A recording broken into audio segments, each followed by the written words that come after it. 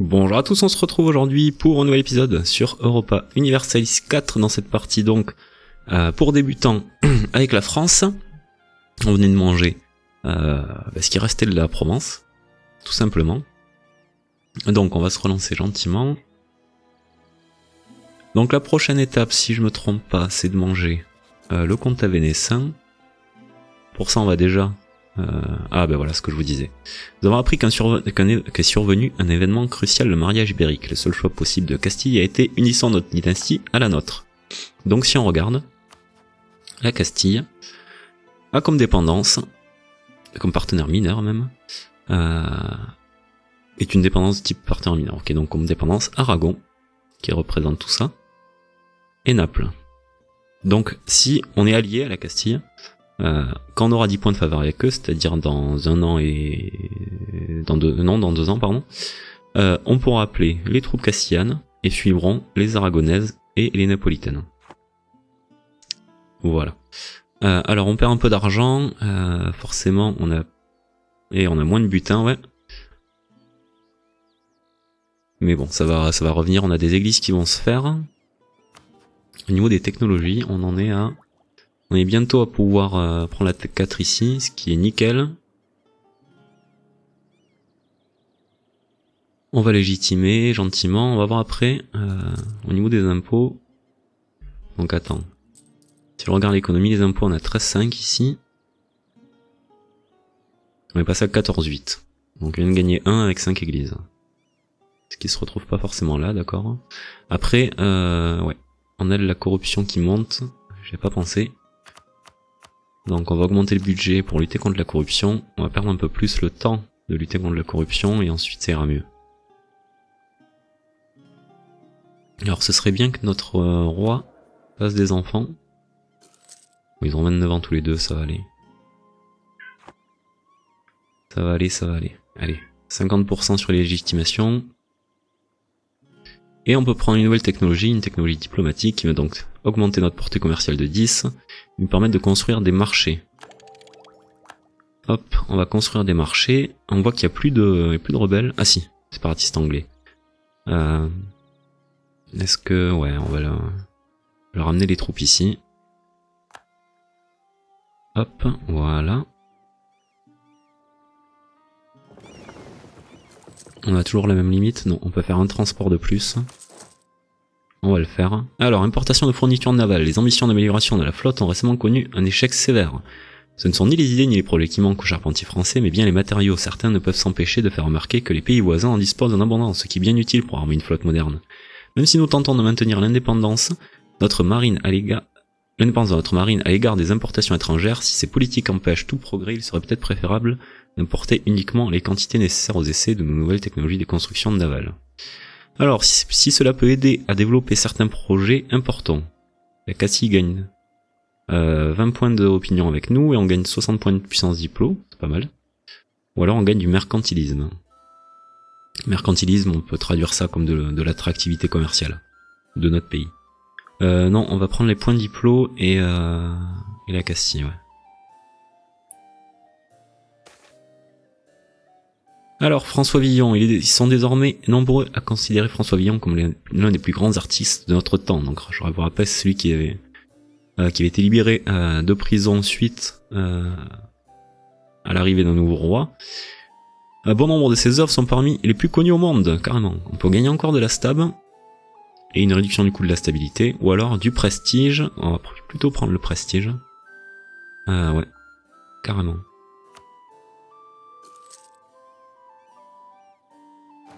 Et donc ce serait pas mal vraiment que... Euh...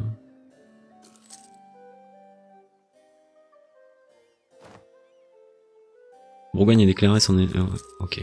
Elle attaque Liège, la Bourgogne. Donc petite pause, voyons si on pourrait récupérer ici des choses. Le truc c'est qu'il faudrait passer... Euh... Oh, quoique. Si je voulais attaquer Leinster par exemple. Voilà, Kildar, un Cassius Belli euh, conquête contre eux. Ah, ça ferait venir l'Angleterre, c'est intéressant ça. C'est très intéressant ça. Euh, si on veut, si on veut, pardon, attaquer Ormonde. T'es aussi allié à l'Angleterre. Ophalie, t'es allié à l'Angleterre. Après Ophalie, t'as qu'une troupe, donc Kildar pourrait s'en occuper de ça. Mais t'es allié à Leinster aussi, qui a qu'une troupe aussi. Donc ça pourrait drastiquement euh, raccourcir notre trêve avec les Anglais. Euh, c'est à réfléchir ça, surtout que j'ai des troupes ici. Si je faisais ça, euh, si je déclarais la guerre à Ophalie par exemple, on pourrait les vassaliser aussi. Ça ferait venir Leinster. Euh... Ah, L'Écosse a une trêve avec eux, c'est un peu dommage ça. Est-ce que t'as une trêve avec Leinster Aussi. Euh... Ouais, là, la Castille est en guerre, la Bohème c'est un peu loin et t'as pas les points de faveur. Regardons pour voir, euh, au niveau des armées, nos rivaux, l'Angleterre, t'as 28 000 troupes et euh, 13 000 de réserve, nous on a un peu moins de réserve.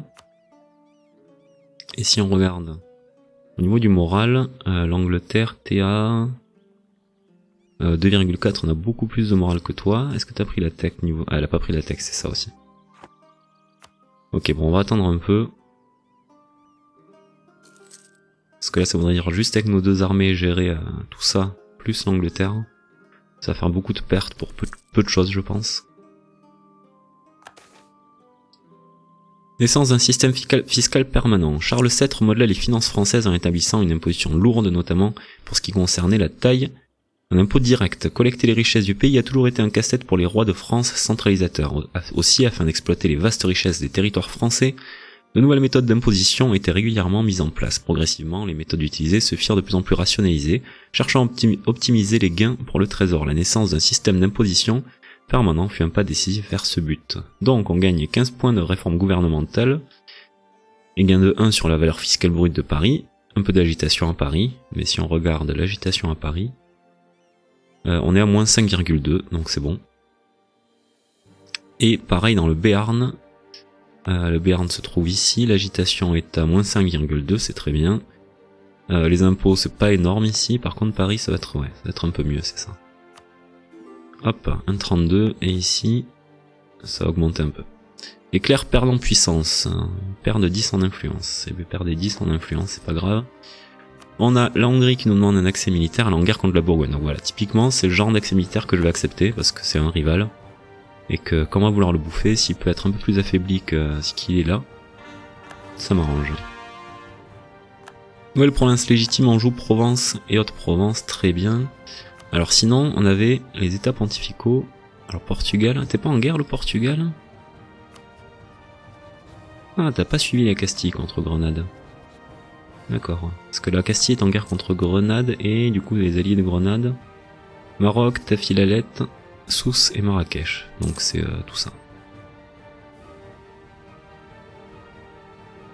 Et ça y est, on regagne un peu d'argent, c'est très bien, on est à l'équilibre quasiment. Oui, à l'équilibre à 2 centimes près.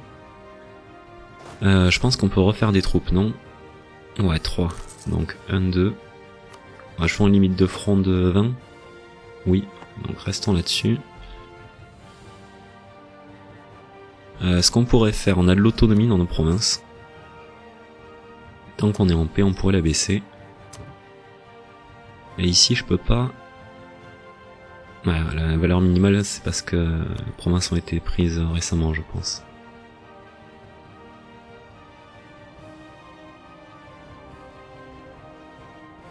Ouais, je pense que c'est ça. Oh, les Anglais sont en guerre juste contre eux et ils sont là. Après ils ont toujours une flotte plus conséquente que la nôtre. Mais, euh, mais leurs troupes sont là.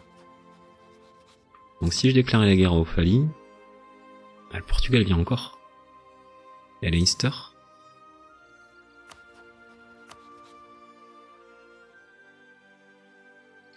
Toujours personne qui vient. On va juste attendre euh, la fin de l'année, parce qu'on va avoir 10 points de faveur avec pas mal de monde.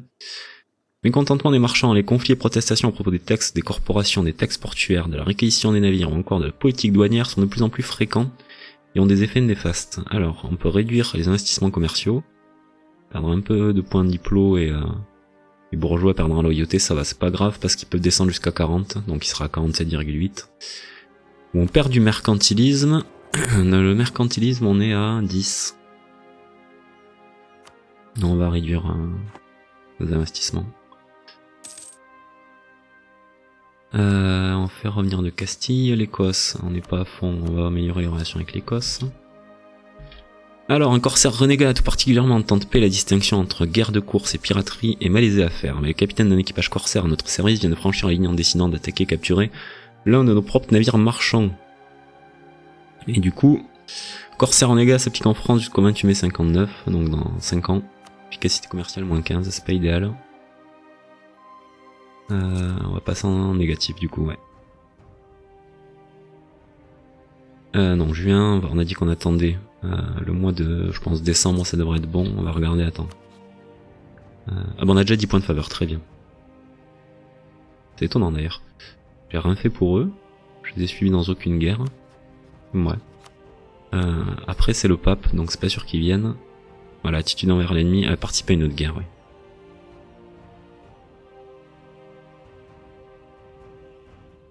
Et euh, si j'attaquais, du coup, on avait dit Ophalie. L'Écosse vient pas non plus. Ah, mais t'as une trêve. Euh, Est-ce que je m'occuperai pas? On pourrait s'occuper de... Après, ouais, des états pontificaux, tout ça, après, c'est vrai qu'on a pas mal d'expansion agressive ici. Ce serait plutôt euh, sage d'attendre un tout petit peu, peut-être. 60 la trêve avec, euh, avec l'Angleterre. Euh, donc ouais, on va s'occuper du coup en attendant. Est-ce qu'on a passé toutes nos techs niveau 4 Ouais. Donc là on commence déjà, on a 3 ans de retard déjà sur l'institution. Donc ce qu'on va faire, on va développer Paris pour que l'institution arrive à Paris. Pour ça, que ça coûte moins cher, on va mettre un édit. Euh, l'édit d'encouragement en développement qui va nous permettre de développer la province 10% moins cher et donc on va passer nos points euh, je pense qu'on va passer bon, tous les points, non. Ce sera fait.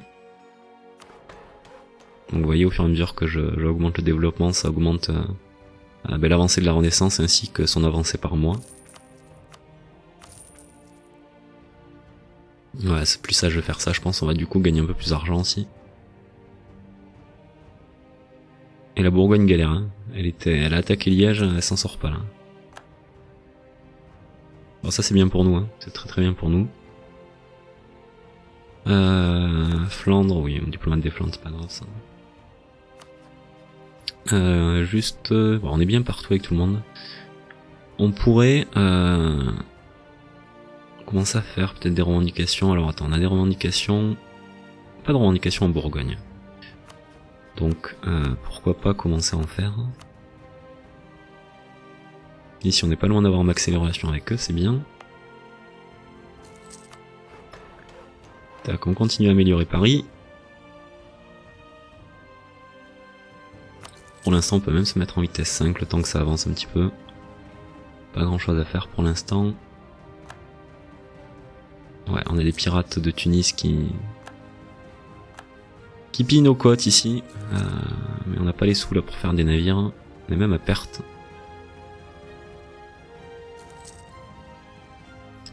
Euh, non, on peut arrêter l'influence avec Navarre. Ça sert plus à rien, on les a pas récupérés en tant que vassal. On fait revenir de Bohème. Hop, euh, on peut peut-être... Ouais non, je vais améliorer les relations avec eux vu qu'on va leur prendre ça. Est-ce que vous avez terminé votre guerre les Espagnols Toujours pas, vous galérez, dis donc. Ah, mais le Portugal viendrait pas. Ok, bon, ben, euh, go les états pontificaux.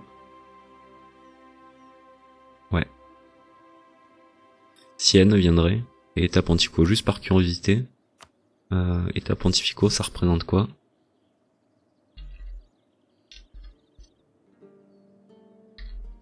Ah, comment tu vas me le mettre? Ouais, voilà. Euh, ça représente pas beaucoup de morale. Au Coco, il sera 3, 333, on à 354. Au niveau des troupes, ils ont 14 000 troupes. Ok. Et à Sienne, Sienne, c'est euh, 8000 troupes. Ouais, ils sont au max, 8000 troupes. Donc ouais, avec une armée, on peut s'en sortir largement. Ok, bon, c'est parti. Cassius Belli prend le comte à Vénessin, oui. Et euh, toi, t'as un de siège, très bien. Et donc, on peut prendre une décision nationale qui arrive à chaque fois qu'on est en guerre avec les états pontificaux. Euh, on gagne du prestige, on gagne du désir de réforme du catholicisme. Par contre, on prend moins 60 avec beaucoup de gens, dont euh, la Castille, et ça, ça m'arrange pas. Donc on va pas le faire, on va juste décocher. C'est généralement un truc que je prends pas. Et donc on va revenir d'ici. Et on va faire un réseau d'espionnage aux états pontificaux. Histoire d'écourter un peu la durée des sièges. On va faire pareil à Sienne. Et je suis en vitesse 5, je me rends pas compte.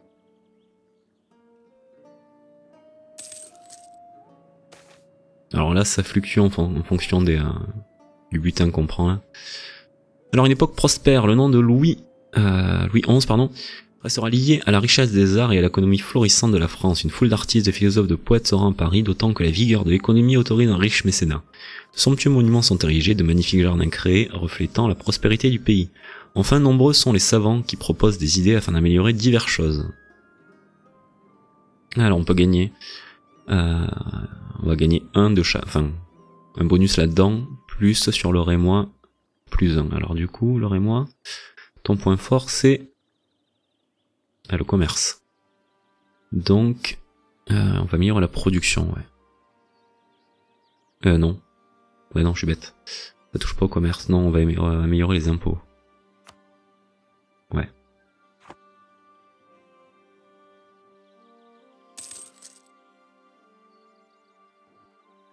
La Castille, t'en es où? Tu galères vraiment à faire les sièges, la Castille. C'est impressionnant. Alors on peut faire une revendication euh, en Bourgogne. On va revendiquer ici parce qu'en fait avec les missions on va avoir d'abord ces revendications puis ensuite celle-ci je crois. Donc on va revendiquer le Nivernais. Pourquoi je fais ça? Parce que... Euh, pourquoi chez le Nivernais? Parce que c'est une dépendance de, de la Bourgogne, tout simplement. Aragon nous demande de passer, si vous voulez. On peut prendre une réforme gouvernementale, très bien. Donc on a le choix entre privilèges nobiliaires renforcés, ce qui nous donne des modifs de réserve nationale plus 15%, ou alors euh, privilège nobiliaire limité, pardon, ce qui va euh, baisser l'influence des nobles, même si elle est haute, c'est pas ce que je vais prendre. Et un modificateur national d'impôt de 10. Je prendre d'abord les réserves militaires, parce que on peut pas, euh, on peut pas récupérer comme ça de réserves militaires gratos entre guillemets. Euh, alors que bah, des impôts, on peut faire des églises par exemple. Donc voilà. Plus 15 de réserve militaire, ici ça va augmenter du coup. Je sais pas si c'est fait, non voilà. On était à 48 000, on est passé à 54. Euh, on va peut-être avoir un souci pour passer. Qu'est-ce que t'as comme bateau? T'as des galères, hein. sachant que c'est des mers d'intérieur, les galères. On le voit ici, les mers d'intérieur. Euh, mer de Ligurie, ceci est une mer intérieure. Golfe du Lion, ceci est une mer intérieure. En gros, euh, pas cette partir d'ici là. Et tout ça, ce sont des mers intérieures. Et les galères, elles ont un bonus parce qu'elles sont très maniables.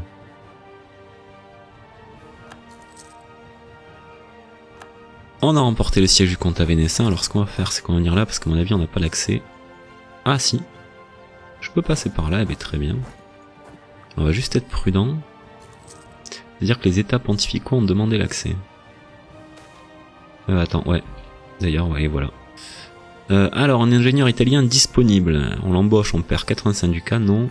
On perd 5 en prestige. Ah ben on va choper, parfait. Alors le terrain il est pas idéal.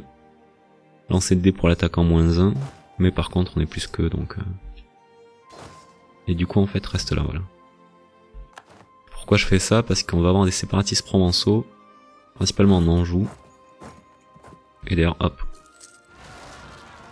voilà, elles étaient en fuite. Euh, c'est parti. Ah mais ils ont popé ici, d'accord. Euh, on va les récupérer, donc zéro morale, donc ça va être un stack wipe, ça s'appelle, voilà. C'est-à-dire qu'on on détruit complètement l'armée. Et ici, avec un peu de chance, mais j'y crois pas, on va arriver avant qu'ils prennent la Provence. Eh non. Donc, il va y avoir du séparatisme ici.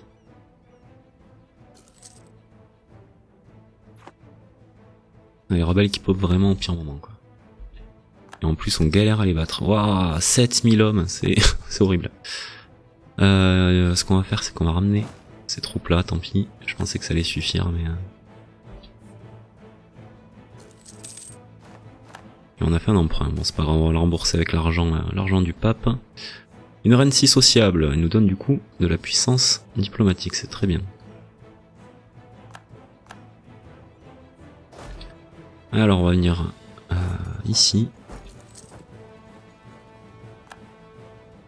La Bourgogne n'est plus une grande puissance, la Bourgogne, voilà, on va retrouver les grandes puissances ici, donc on voit que nous on est deuxième, voilà pourquoi je vous dis euh, que j'ai joué la France, que c'est simple. Et donc la Bourgogne doit se retrouver neuvième, la Moscovie est passée devant à mon avis.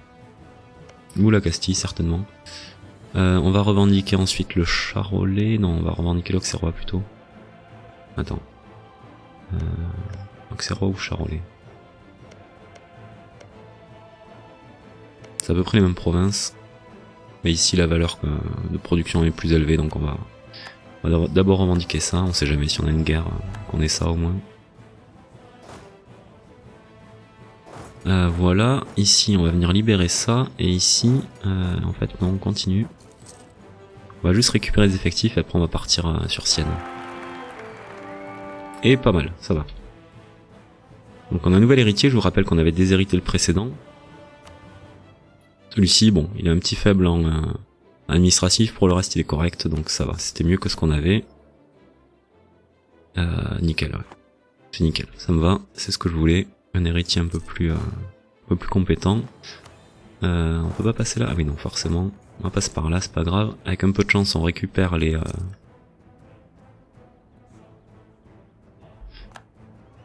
on récupère, pardon, les les troupes euh, pontificales. Ici on récupère nos provinces. Alors on voit qu'ici d'ailleurs euh, on a l'objectif de guerre qui était de prendre le compte à Vénessin, du coup on a un score de guerre évolutif euh, de 4,4 et, et, donc voilà il va monter jusqu'à 20 de plus donc on va arriver à 40%,60 si les choses restent en l'état. Après on peut améliorer ça avec des combats, on peut améliorer ça avec la prise d'autres provinces. Tu passes par où? Carrément. Tu pouvais passer par là, bon. Ok, on occupe le bris, c'est super. On va revenir du coup ici au cas où il y a des troupes qui veuillent récupérer. Alors, la grippe se propage, ce que je fais généralement c'est de mettre la province en quarantaine. Euh, Est-ce que je le vois là? Non, parce qu'en fait ça se propage, sinon on a des modificateurs euh, partout, des malus partout, donc non. Ben voilà, parfait. On récupère les troupes de Sienne, siennoises. Je sais pas si ça dit comme ça, j'ai un doute quand même. On peut faire une autre revendication. On va le faire ici. 25 euh, en Bourgogne. Donc on revendique l'Auxerrois. C'est quoi tes alliances? Oldenbourg, ok. On t'a fait péter toutes tes alliances. Et voilà pourquoi je faisais revenir les troupes françaises ici, pour euh, cela, qui vont nous embêter. Mais on verra ça au prochain épisode. Euh, je vous remercie d'avoir suivi celui-ci, j'espère que cette série continue de vous plaire. Et je vous donne donc rendez-vous très bientôt pour la suite. Salut à tous.